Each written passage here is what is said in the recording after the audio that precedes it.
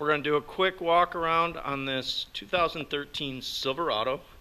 It is a 4x4 and in this video walk around we're simply going to take a look at the condition of the vehicle so you have a better idea of what you'll be coming in to look at. Tonneau cover looks to be in good condition. Exterior white paint looks good. Aluminum alloy wheels. Plenty of tread. Let's take a look inside. So we open things up inside. Black cloth interior.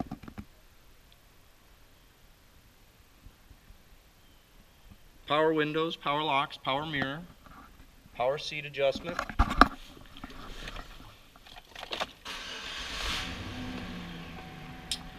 Cruise control, audio controls mounted on the steering wheel. Air conditioning's blowing. Radios working, just not tuned in.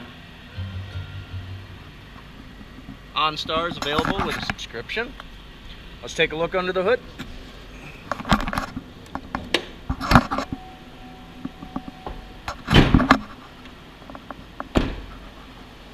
Another shot of the front tire. Take a look at the front end. Tow hooks. Chrome grille. Real clean engine.